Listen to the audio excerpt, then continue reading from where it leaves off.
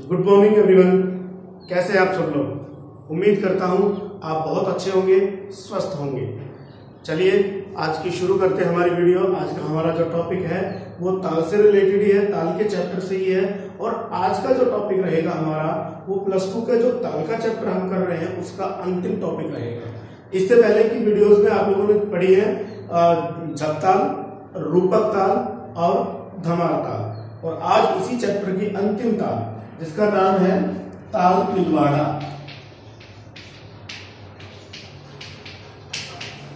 ताल तिलवाड़ा जो है, हम आज पढ़ेंगे ये ताल के चैप्टर की अंतिम ताल है प्लस टू में।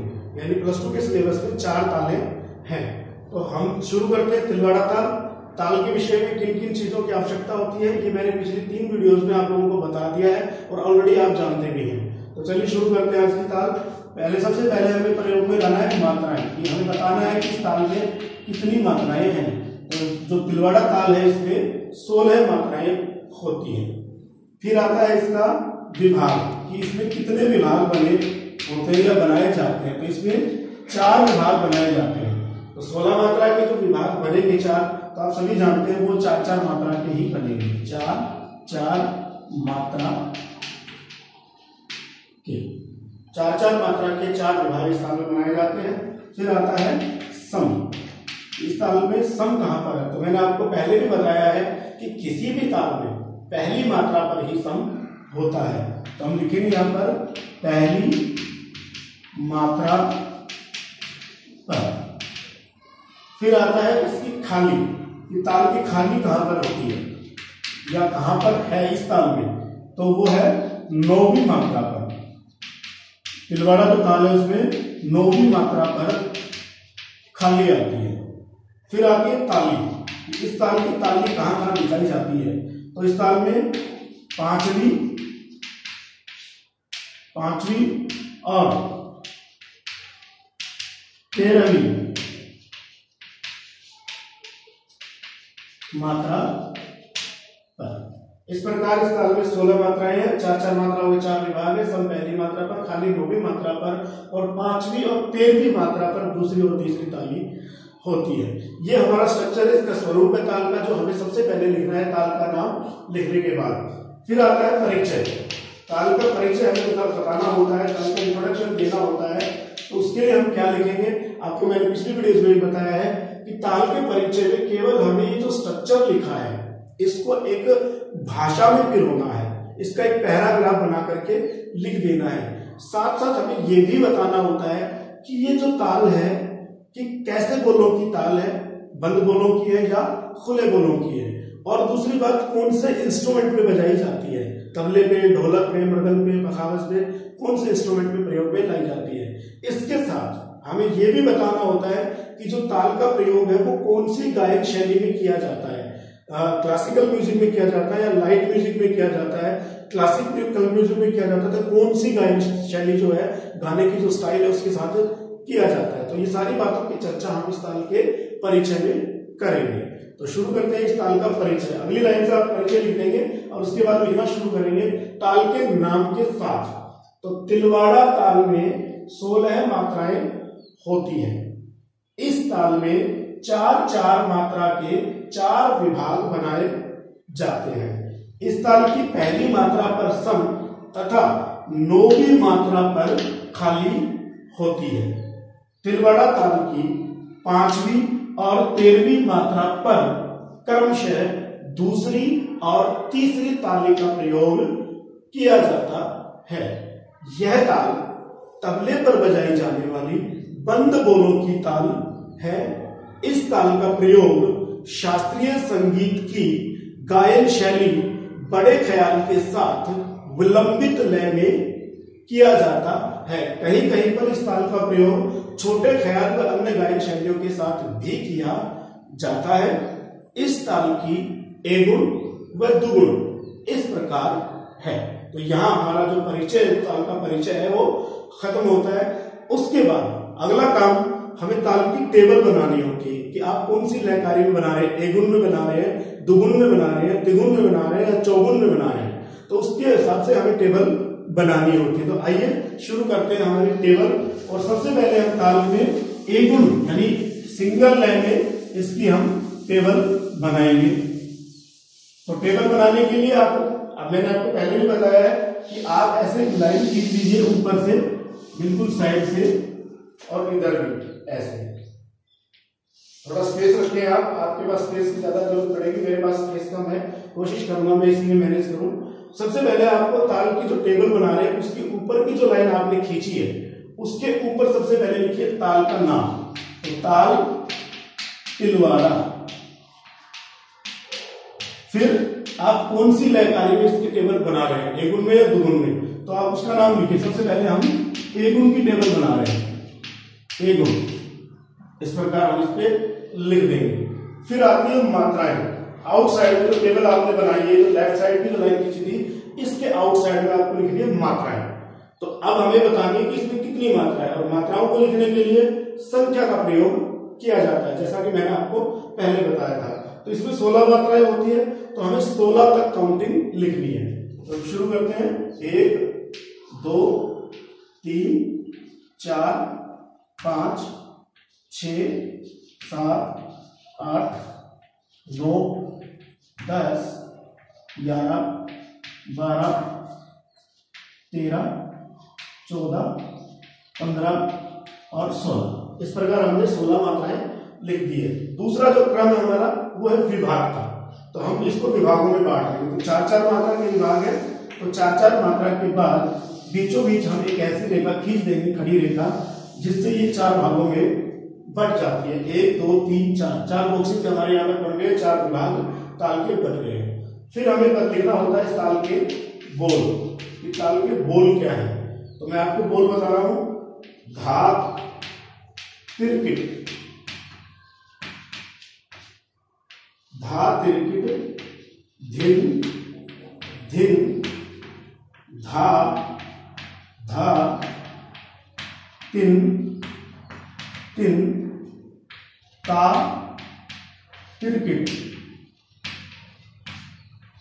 ता तिरकिट धिन धिन धा धा धिन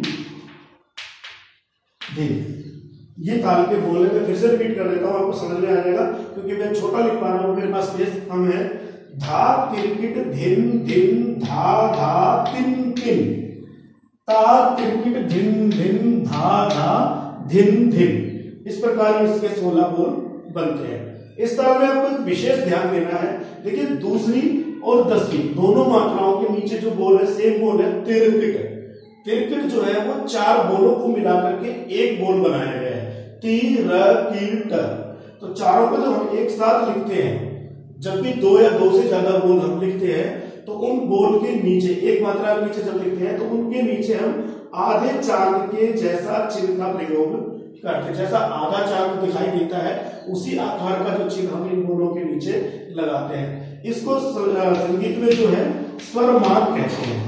स्वर मान ये ध्यान रखिएगा जो आधे चाँद का जो चिन्ह है, इसे स्वरमान के नाम से जाना जाता है। तो जब भी दो या दो से ज़्यादा लोग एक साथ लिखे जाएँगे तो स्वरमान का प्रयोग हमेशा किया जाएगा। तो देखिए त्रिविट के नीचे मैंने स्वरमान लगाया है और यहाँ त्रिविट के नीचे भी मैंने स्वरमान लगाया है। फिर आता है हमारा चिन्ह। ताल के तो चिन्ह हमें लगाने हैं तो चिन्ह चलते हैं मात्रा के अकॉर्डिंग। तो पहली मात्रा पे आप सबको पता है, सम का चिन्ह लगता है और सम को दर्शाने के लिए क्रोस का प्रयोग किया जाता है इस प्रकार। फिर आता है हमारा खाली लगाओ सबसे पहले। खाली हमारी नौवीं मात्रा पर है और खाली को दिखाने के लिए शून्य का प्रयोग किया जाता है, ज़ीरो का प्रयोग किया जाता है। हमारे पास दो विभाग बच गए, दूसरा और चौथा। और मैंने आपको हमेशा बताया है कि चिन्ह जो है हमेशा किसी भी विभाग की पहली मात्रा पर लगता है। तो हमारा सब का विभाग भी कंप्लीट है और खाली का विभाग भी कंप्लीट है। अब जितने भी विभाग बचे हैं, उनकी हर मात्रा के नीचे कोई ना कोई ताली है। तो तालु की, ताली की जो शुरुआत है, हम शुरू से कर देते हैं पहले विभाग से। तो हम यहाँ पर लिख देंगे दो नंबर।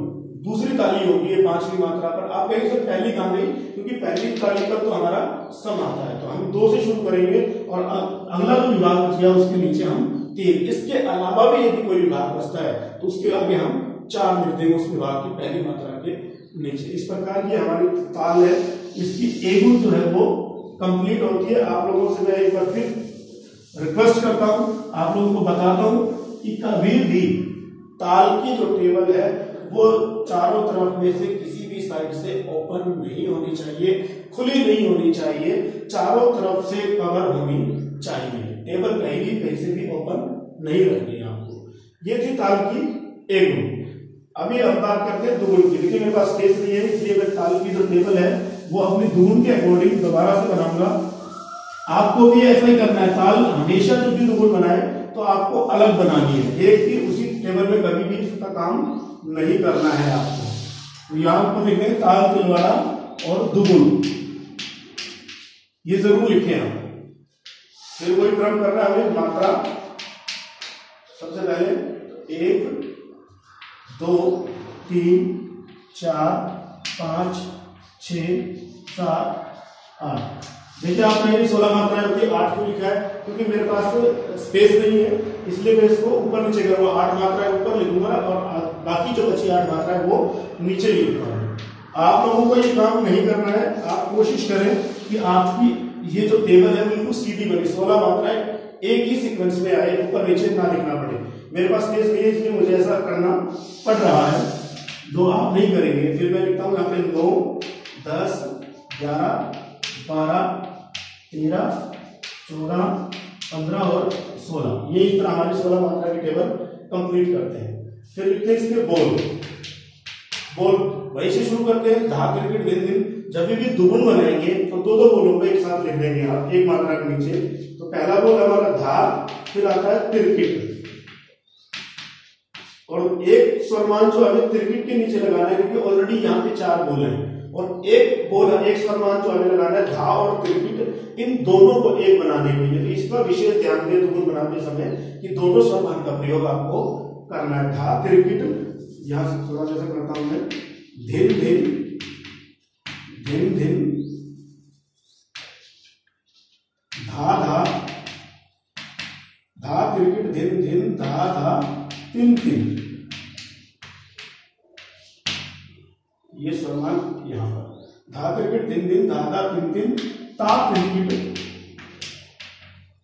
ता क्रिकेट एक चिन्ह, एक सम्मान हमें क्रिकेट के नाम से लगाना है और एक ता और क्रिकेट दोनों को एक बनाने के लिए लगाना है।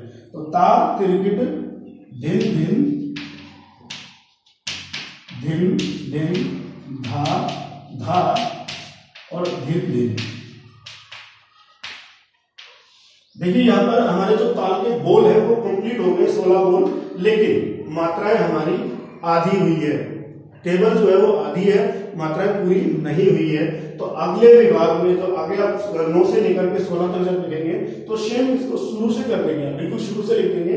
सेम उसी तरह से धा तिरकिट धा तिरकिट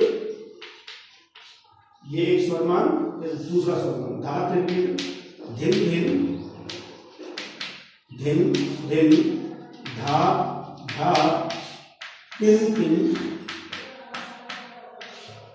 ता त्रिकिट ता त्रिकिट एक सलमान त्रिकिट का और एक ता और त्रिकिट दोनों के लिए। ता त्रिकिट धिन धिन। धिन धिन, धा धा। धिन धिन। ये हमारी सोलह मात्रा यहाँ पर कंप्लीट लिखती होती है। और चिन्ह जब भी लगाएँगे तो मैंने आपको पहले भी बताया है, चिन्ह हमेशा मात्राओं के अकॉर्डिंग लगेंगे बोल के अकॉर्डिंग नहीं लगेंगे। तो दुग्ध में भी पहली मात्रा के नीचे क्रॉस पांचवी मात्रा के नीचे दूसरी ताली, नौवीं मात्रा के नीचे खाली और तेरहवीं मात्रा के नीचे तीसरी ताली। देखिए मेरे पास स्पेस नहीं था, इसलिए मैंने इसको हाफ़ हाफ़ करके लिखा है। आपको अपनी नोटबुक में बिल्कुल सीधा बनाना है सीक्वेंस में बनाना है। सोलह मात्राएँ एक साथ ही लिखनी है। इस बात का विशेष ध्यान दें। और मेरे ख्याल से आप लोगों को बहुत अच्छे से ये बात समझ में आ गई होगी।